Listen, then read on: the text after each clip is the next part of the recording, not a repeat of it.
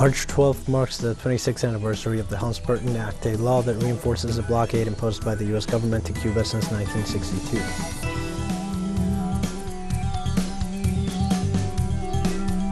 In Ukraine, President Volodymyr Zelensky stated that he is ready to begin negotiations with Russia and emphasized the need to receive security guarantees. Venezuela ratified to the European Union its disposition for dialogue and demands the lifting of unilateral sanctions.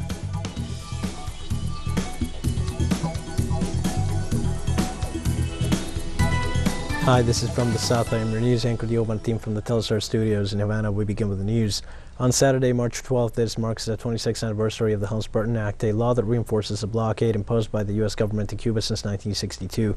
Since the so-called Law for Cuban Freedom and Democratic Solidarity, also known as Helms-Burton, came into effect in 1996, it has served as a mechanism through which the U.S. government imposes illegal and brutal pressures to hinder and interrupt its commercial and investment relations with Cuba, with the purpose of suffocating the Cuban economy and increasing the shortages among its population. According to specialists, this law, together with the Torricelli Act, signed in 1992, represent a huge obstacle to a stable, institutionalized, lasting, and irreversible relationship between the two peoples. They also mean the violation of the principles of sovereign and equality and non-intervention in the internal affairs of a state, principles considered by international law as mandatory norms.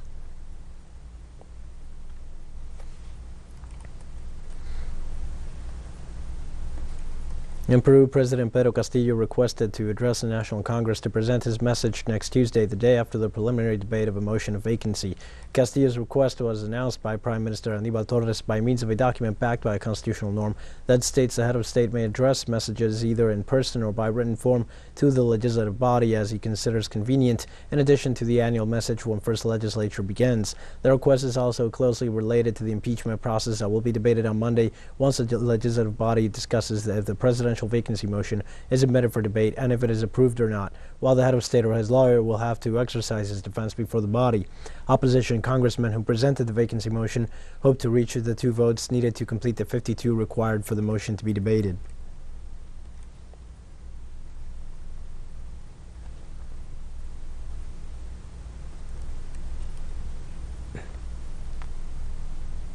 As well, President of Peru, Pedro Castillo, held a bilateral meeting on Friday with his counterparts from Argentina and Bolivia, Alberto Fernandez and Luis Arce, respectively, as part of his visit to Chile, where he participated in the inaugural ceremony of President Gabriel Boric. During the meeting with Fernandez, both dignitaries discussed several issues of the bilateral agenda, especially referring to health and education. A Peruvian-Argentine social cabinet to strengthen cooperation in these sectors was not ruled out. With his Bolivian counterpart, Castillo addressed the implementation of the energy cooperation agreement signed in 2021 to supply Bolivian LPG to Peruvian populations and connect the Bolivian gas pipeline with a future gas pipeline in southern Peru, as reported Agencia Andina.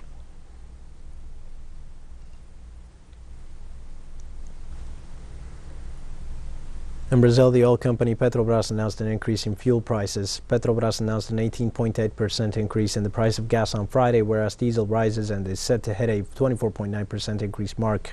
This is the biggest fuel price escalation since January 2021. The mostly state-owned petrol company said in a statement that price increases by other fuel providers have prompted this measure. The executives conveyed that for almost two months they managed to not raise the fare, and they recalled that the Brazilian Senate approved a bill to support gasoline prices remain steady through a stabilization Fund, as well as an assistance plans for those most affected by the measure.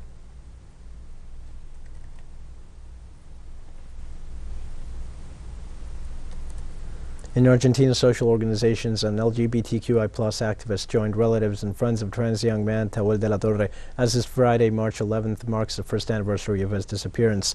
The collective's outcry one year after Tehuel's disappearance also joined the gathering of over 11,000 signatures to endorse a petition that demands to the authorities the use of all resources available to find him and ask the media to continue broadcasting Tehuel's case.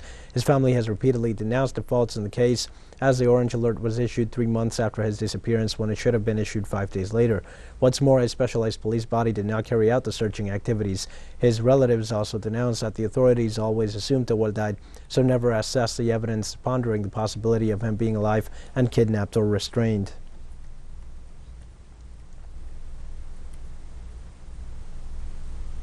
The campaign of the United States and that country's media has unleashed a real wave of Russophobia not only against President Vladimir Putin, but more absurdly against the Russian people. Contrary to this situation in Venezuela, the people assure that they will continue to welcome all Russian citizens. Our correspondent Malen Garcia gives us more details.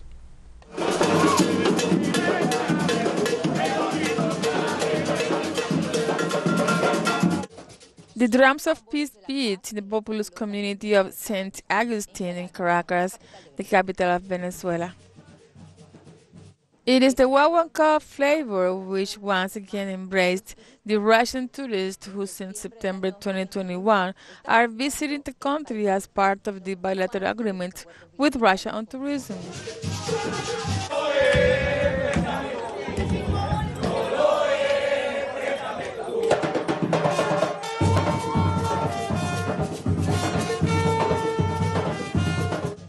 Welcome, Russian brothers. One could hear from the balconies. It is the main message at a time when Russophobia has been promoted by the Western media.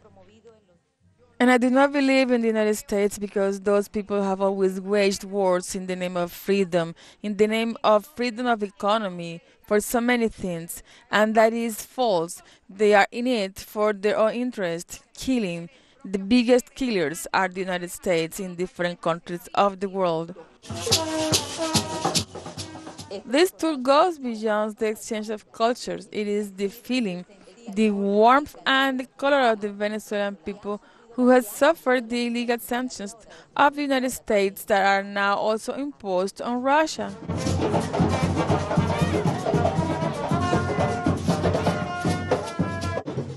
Many Russophobia sees all over the world. The media wants to become a big court, but a court of lies, a court of falsity. It is a simply media campaign that tries to undermine the profound truth that the Russian people are taking on today, which is to fight against racism, to fight against this fascist enclave that has tormented, raped, and mutilated the community of Donbass. So the aggression against the Russian people stop that racism stop our Russophobia as well. Russia has been sanctioned by the United States and its ally. Its planes are not allowed to fly over Europe, but the operation will not stop. Flights are going to increase to and from Venezuela. Now, with the Venezuelan state airline Conviasa, cooperation is intact.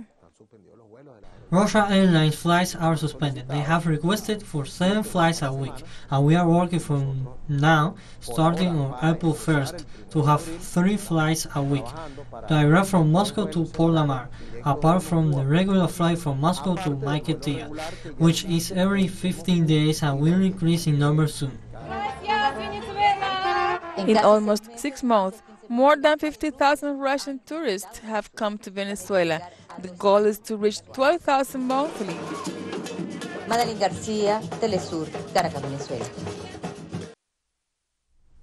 We're going to take a short break now. Please join us again after this.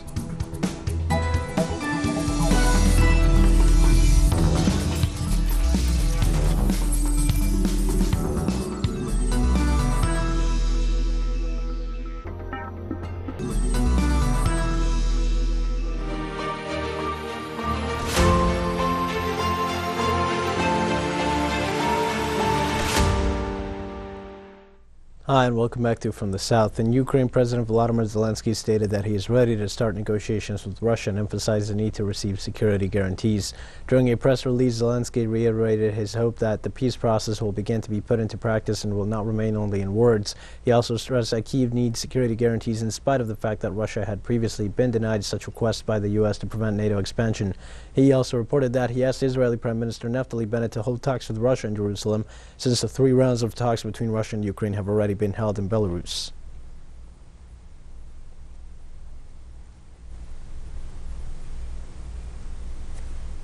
In Norway, Defense Ministry authorities announced new military maneuvers by the North Atlantic Treaty Organization named Cold Response 2022. In statements to the press, the Norwegian Defense Minister Odd Roger Enoksen informed that exercises will begin on March 14th and will be extended until April 1st. They will be carried out in a territory close to Russia in the framework of the conflict between the country and Ukraine. These maneuvers will have 30,000 soldiers, 200 airplanes, and 50 ships from NATO member countries, as well as troops from Sweden and Finland, non-NATO nations. In this regard, Moscow Embassy in Oslo issued a statement saying that the reinforcement of NATO's military capabilities near Russia's borders does not contribute to strengthening the security of the region.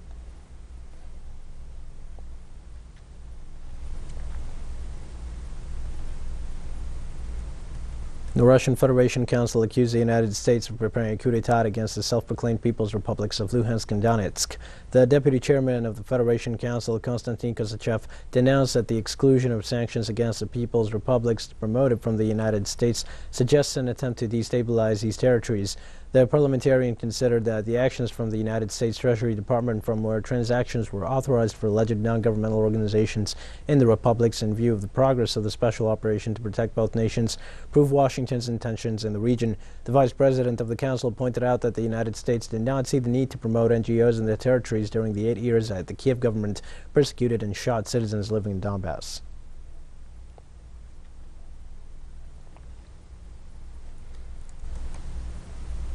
The United States reported that it is enabling new logistical and administrative channels to expedite arms shipments to Ukraine and other European nations. Pentagon spokesman John Kirby explained at a press conference that due to the growing demand for military equipment from allied countries in Europe, the Pentagon has decided to create a special team for this purpose while working on mechanisms to reduce the required bureaucratic procedures. Military analysts point out that Washington is conducting this activity simultaneously with the increase of tensions in the region to force Ukraine and other allies to take loans and buy weapons at inflationary prices.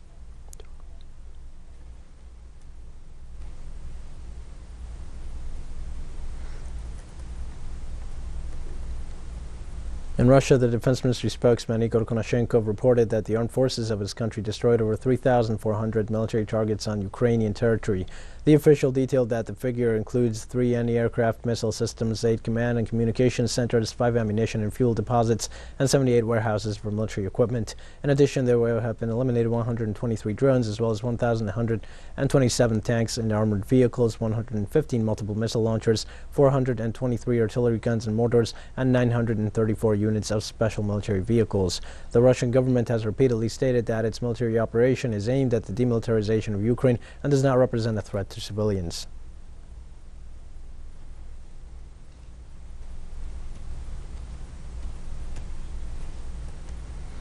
The Russian Defense Ministry released an audiovisual material showing Russian armored vehicles moving up very fast towards Kiev. The images were shared through the ministry's official social networks. Also from Moscow, they affirmed to have advanced 26 kilometers in the last 24 hours. In the last days, the Russian army began its advances around the Ukrainian capital, both from western and eastern flanks. According to the latest report from British intelligence, the Russian forces are deployed 25 kilometers away from the Ukrainian capital with the aim of closing in around the circle around it.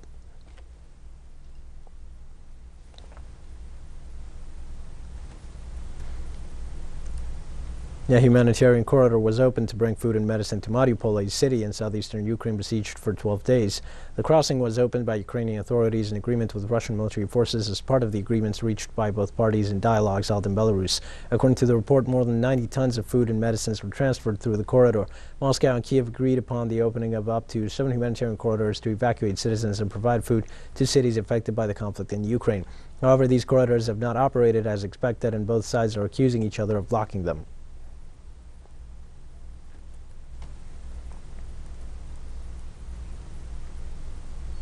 The implementation of sanctions against Moscow by the European Union brings consequences for the countries that make up the bloc.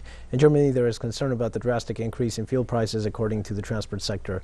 According to the government, more than 70% of the fuel supply in Germany is transported by trucks, mainly by medium-sized transport companies, which are the hardest hit by fuel prices. Now, Dirk Engelhardt, spokesman for the German Federal Association for Road Transport, Logistics and Disposal, said the increase in the cost of oil threatens the transport and logistics industry. He also pointed out that he considered extreme increases in fuel prices occurred so quickly that some of the association's members were unable to pass on these costs, putting them at risk of insolvency. The situation for mid-cap road haulage business has never been this bad. The extreme rise in fuel price is a huge problem for our members. They cannot hand down these prices fast enough and are therefore threatened with insolvency. We have more news coming up after a final short break. Please stay with us.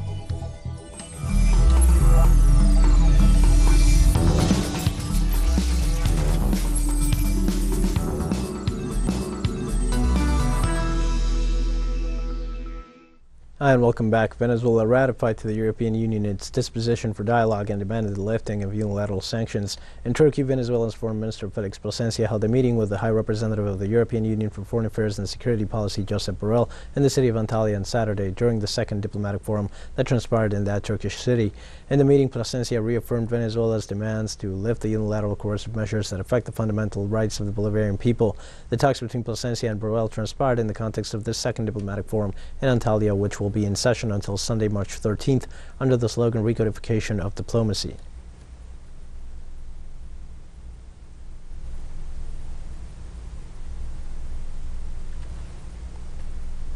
On Saturday, Turkmenistan held anticipated presidential elections, which were to be held in 2024.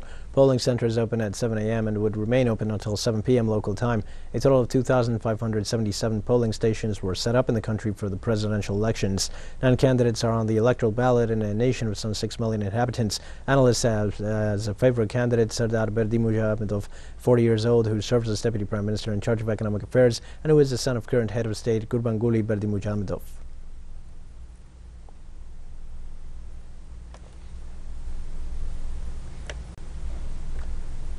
Former Zambian President Rupia Banda died on Friday, aged 85. Rupia Banda died after a long battle with colon cancer. His son Andrew Banda announced the former leader's death on Friday. Banda was Zambia's fourth leader since independence from Britain.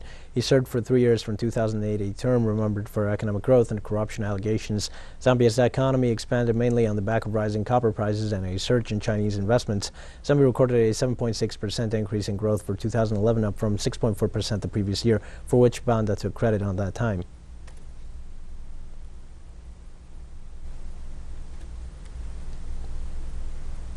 In Kenya, at least five people died when a terrorist attack in the coastal city of Lamu in southeast of the country.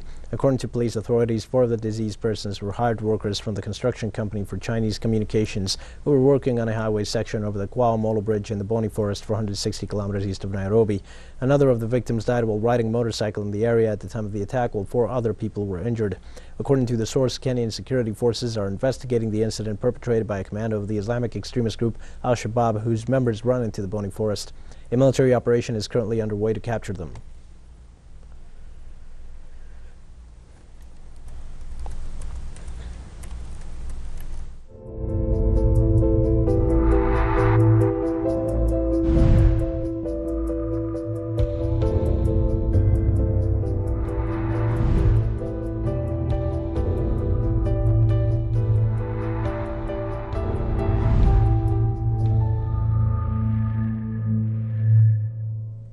Kenya's government announced it was lifting the remaining COVID-19 restrictions, including a requirement that people wear masks in public places and a ban on large indoor gatherings, but authorities said Kenyans should continue heeding public health measures such as washing their hands and social distancing.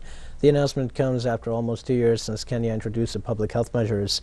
The decision was taken following uh, positive low positive rates that have persisted for over two months and with the number of fully vaccinated people about to hit 30% of the adult population. According to statistics, close to 8 million people in Kenya have been fully vaccinated, while the positive rate as of Friday was 0.3%. Since the first case of COVID-19 was detected in the country in 2020, the East African country has recorded over 323,000 cases and more than 5,600 deaths. In keeping with the guidance from the World Health Organization, the Centers of Disease Control and Prevention, and the epidemiologic situation prevailing globally, the Ministry of Health has therefore revised the measures. The measures that we have announced today may be reviewed at any time, and the Ministry of Health can administer ad hoc measures, including arrival testing based on prevailing pandemic situations and epidemiologic situation of the country of departure.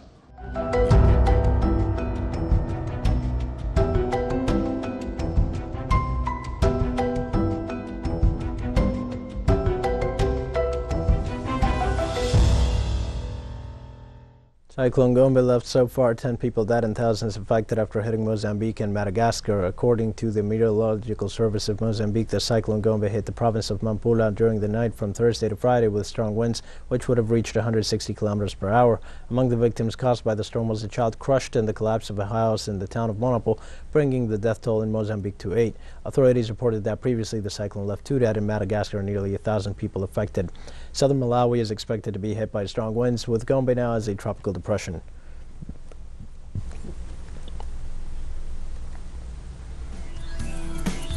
And we've come to the end of this news brief, but remember you can find these and many other stories on our website at teleSUR English. You can also join us on social media for all the latest news. We're on Facebook, Twitter, Instagram, and Telegram. For teleSUR English, I'm Dio Martin. Thanks for watching.